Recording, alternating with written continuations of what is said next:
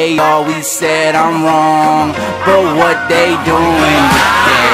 I think they want me gone But I ain't going away They told me I was wrong But look at my ass Da da da da da da da da da da da What up guys, Denton Day here from the Real Sports Talk and today we're going to be talking about uh, Monday Night Raw. This isn't going to be the normal Raw recap that I usually do. Uh, this is going to be a little something different and as you can tell by the title, Monday Night Raw is too damn long. It's three hours, it's been like that for about six or so weeks ever since July 23rd of Raw 1000 and it was cool like the first two or three times and then since then it's gone a little out of control. Three hours is a ridiculous amount of time to sit there and watch WWE. Now personally I don't quite mind it,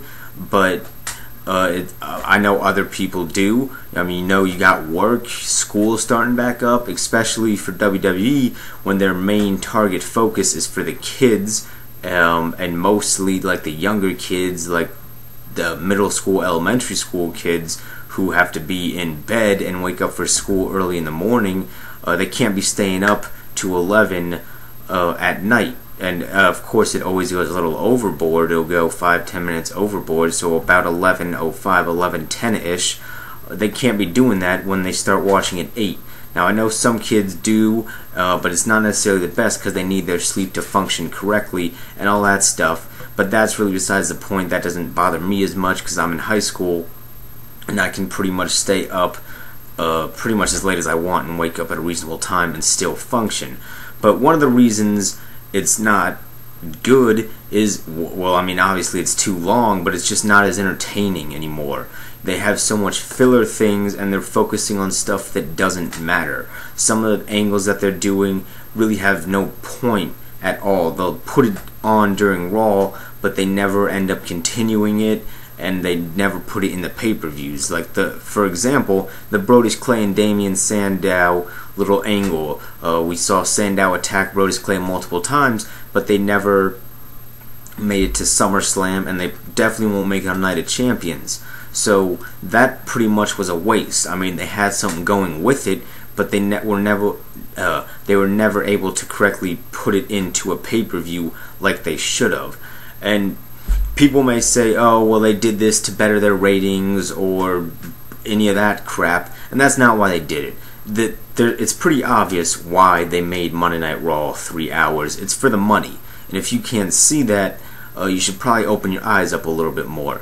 Uh, for three hours, they average about four million viewers. That's not bad, but pretty much this whole year, their ratings haven't been very good.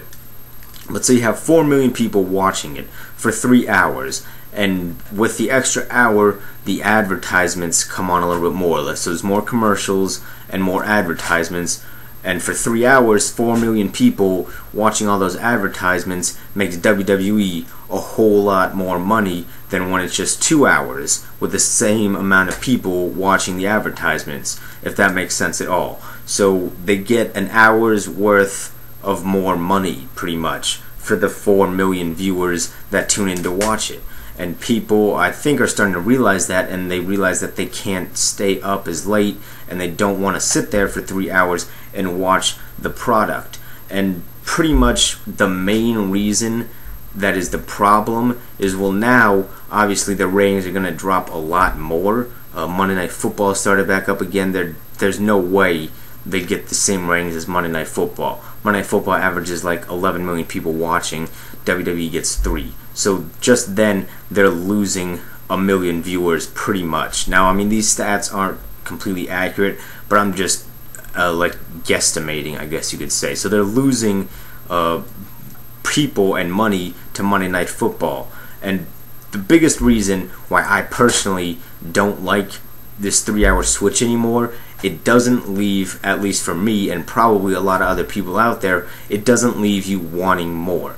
When there was two hours of Monday Night Raw, at the end there'd always be something big, and you'd be like, "Oh, I want to see what happens next," so you'd have to tune in next the next week.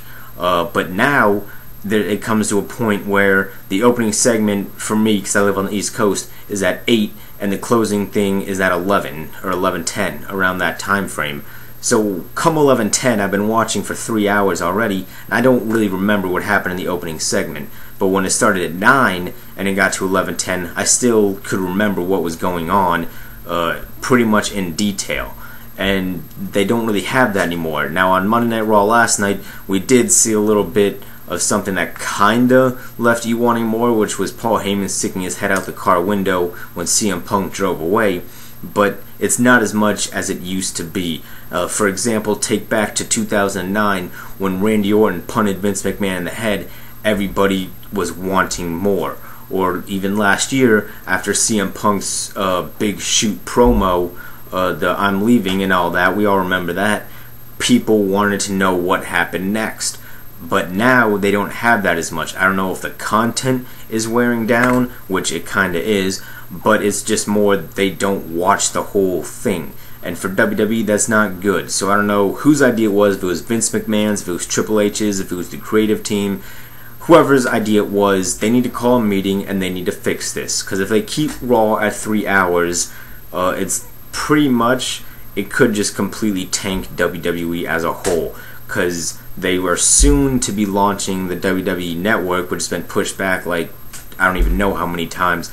But at this point, it looks like the WWE Network is not going to be as good as Vince McMahon hopes because it's probably going to be ridiculously overpriced for shows that people don't even want to watch. So that itself is probably going to tank as well. And then people just aren't going to watch WWE anymore. So then the ratings for Raw are going to tank. And then by that time, it'll probably be too late. So if they don't switch this back to two hours in the near future before the WWE uh, network launches, WWE and Vince McMahon, Triple H, and all the board of directors and CEOs and broadcast team and whatever are going to be in a little bit of trouble and may see TNA overtake them. Now, I'm not saying that's going to happen because let's be honest, TNA, their ratings aren't too hot either. But it, you never know what could happen if they keep some stupid like this three hours up. So thank you guys for watching. Feel free to comment on what you think of the three-hour ridiculous Monday Night Raw down below. Uh, like us on Facebook at The Real Sports Talk and follow us on Twitter. Uh, and I will see you guys later. Just a little around the corner from fear. Be there, next year, where I'm going.